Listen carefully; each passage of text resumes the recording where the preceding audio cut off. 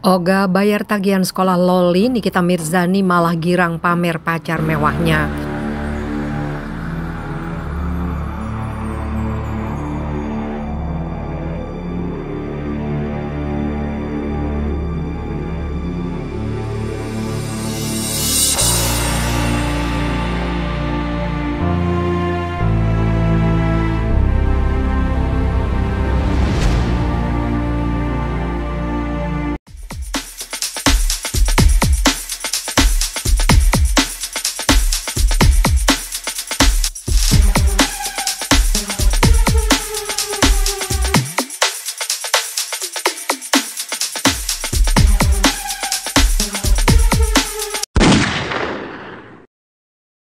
Oga bayar tagihan sekolah Loli, Nikita Mirzani malah girang pamer pacar mewahnya.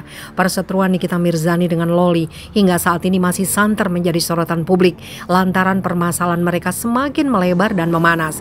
Loli membeberkan kalau sang ibu menolak untuk membayar tagihan sekolahnya. Apalagi saat ini semua akses komunikasinya dengan sang ibu diblokir.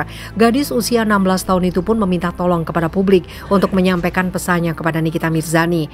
Alih-alih mendapat tanggapan, Nikita malah tampak cuek dengan unggahan putrinya. Ibu dari tiga anak itu malah asik memamerkan mobil barunya. Hal itu pun ia unggah melalui Instagram story-nya. Hai guys, malam ini aku mau kasih tahu kalian kalau malam ini aku lagi happy banget karena pacar baru aku udah dateng. Mau tahu nggak pacar baru aku yang mana? Yuk aku liatin ucap Nikita Mirzani dalam cuplikan video di akun Instagram @lambe underscore danu. Ini dia guys pacar baru aku selamat datang sayang ibunya sambil menunjukkan mobil berwarna putih yang masih diangkut. Selain itu, asisten Nikita Mirzani pun tampak keheranan dengan mobil yang dibelinya. Pasalnya, saat ia berstatus single, malah semakin terlihat kaya. Emang ya, janda satu ini semakin di depan. Dia semakin single, malah beli mobil baru lagi. Puji mail asisten Nikita Mirzani.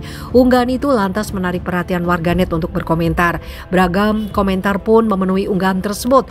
Alurnya selalu gitu, galau, berantem, dihujat neti, ngehina neti beli mobil baru, komentar seorang warganet. Semua hartamu tidak ada artinya jika keluargamu berantakan, ujar warganet lain. Loli sabar ya, makmu belum bisa ngirimin duit, soalnya duitnya buat beli mobil baru. Imbu warganet di kolom komentar.